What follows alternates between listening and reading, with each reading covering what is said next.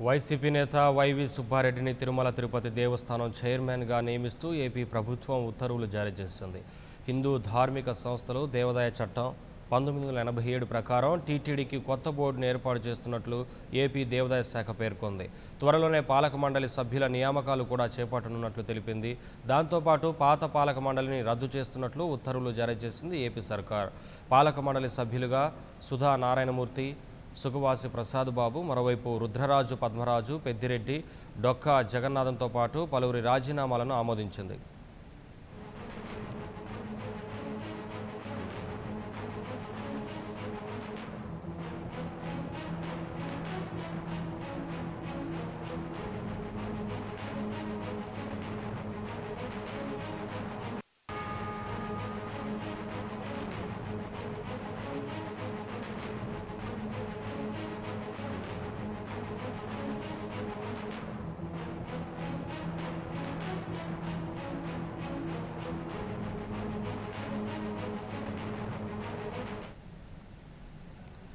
YV Subbareddy TTD యాభయో చైర్మన్గా ఇవాళ బాధ్యతలు చేపట్టనున్నారు. నిన్న సాయంత్రమే కుటుంబ సభ్యులతో కలిసి ఆయన తిరుపతికి చేరుకున్నారు. రేణిగుంట విమానాశ్రయంలో వైసీపీ శ్రేణులు సుబ్బారెడ్డికి ఘన స్వాగతం పలికారు. తిరుచానూరు పద్మావతి అమ్మవారిని దర్శించుకున్న అనంతరం భూమన కరుణాకర్ రెడ్డి నివాసానికి వెళ్ళారు. ఇవాళ ఉదయం తిరుమలలో టీటీడీ చైర్మన్గా బాధ్యతలు స్వీకరించనున్నారు.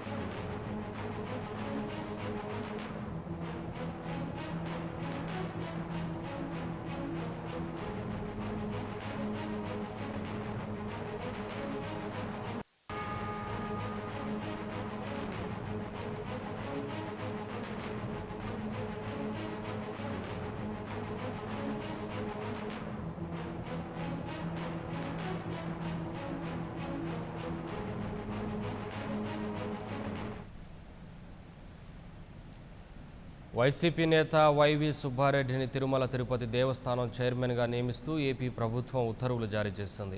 హిందూ ధార్మిక సంస్థలు దేవాదాయ చట్టం పంతొమ్మిది వందల ఎనభై ఏడు ప్రకారం టీటీడీకి కొత్త బోర్డును ఏర్పాటు చేస్తున్నట్లు ఏపీ దేవాదాయ శాఖ పేర్కొంది.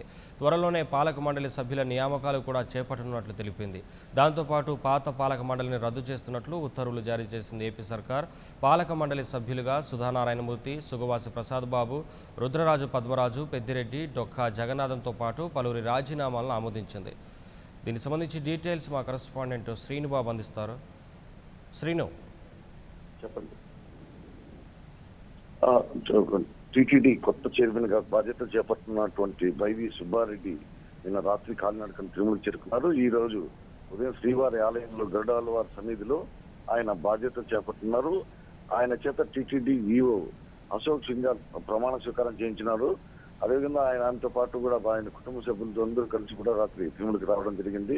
ఆయన ఆయనకు ప్రత్యేకంగా బస్సు ఏర్పాట్లు చేశారు. వసతి సౌకర్యాలు కలిపి సోమవారం ఇవాళ ఉదయం దర్శించుకున్న దర్శించుకున్న అనంతరం ఈ ప్రమాణ స్వీకారోత్సవ కార్యక్రమం జరుగుతుంది. అదేవిధంగా దీనికి సంబంధించి కూడా ఉత్తర్వులు అందిన తర్వాత ప్రభుత్వం నుండి వచ్చిన ఆదేశాల మేరకు టీటీడీ ఈఓ గారు దానికి తగ్గ ఏర్పాట్లను కూడా చేయడం జరిగింది.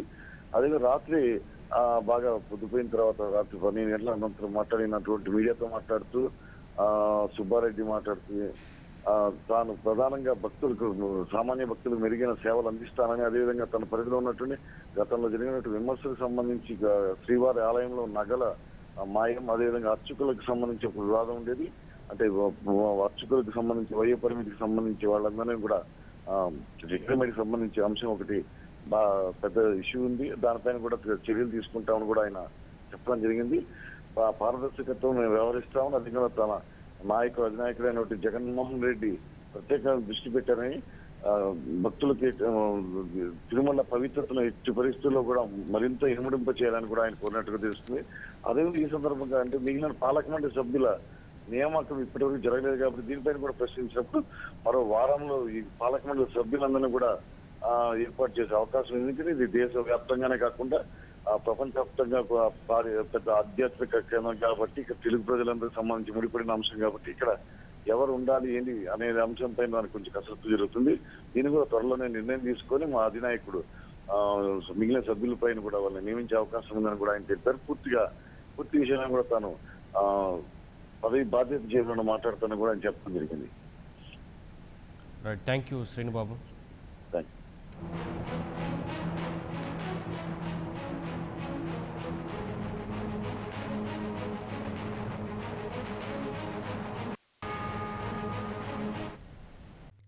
for more updates please subscribe ninety nine TV Telugu